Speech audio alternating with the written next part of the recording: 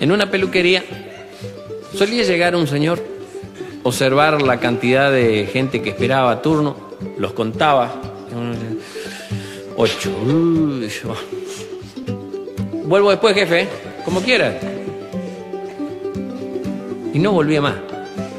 A los pocos días venía otra vez, contaba. Uy, se qué barbaridad. Bueno, vengo después nomás, jefe. Cuando quiera, ven. Se iba. No volví. Y así siempre. Entonces un día el peluquero le dice al ayudante, dice, este tipo debe ser enfermo, debe ser loco, se debe olvidar de las cosas, no sé, porque viene, cuenta, en vez de esperar el turno, cuenta y se va. La próxima vez seguilo, dice, a ver, por, por ahí está internado y nosotros no sabemos. Dice, "Él se sienta acá y me agarra la navaja. La próxima vez viene, cuenta. Uh. Bueno, después vengo, jefe, ¿eh? cuando quiera, le dice. Y le dice el otro, seguilo, seguilo, seguilo. Saca la chaqueta al ayudante, el peluquero, y lo sigue. A la media hora vuelve. Dice, ¿y? ¿y? Todos intrigados. De lo más raro, jefe, mire. Se salió de acá, fue a la bombonería, compró bombones.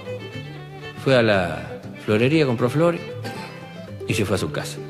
¿No es que es loco? ¿No es que es loco? Venía a contar cosas y dice, ir a comprar flores y bombones para llevarle a la mujer. No, perdón, usted no me entendió bien. Dice, ¿lo puedo tutear? Sí, se fue a tu casa.